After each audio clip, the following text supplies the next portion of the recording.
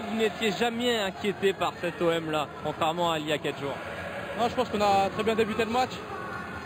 On les a pressés d'entrée et on a pris euh, la position de balle.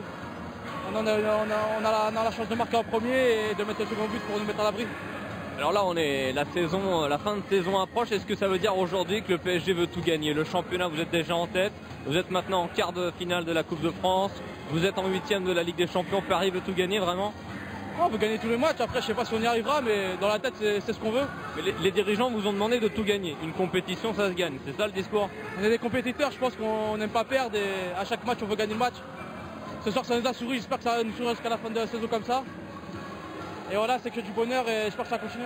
Eh ben, on verra, j'espère, un grand PSG pour les quarts de finale de la Coupe de France sur France Télévisions. Merci Kevin.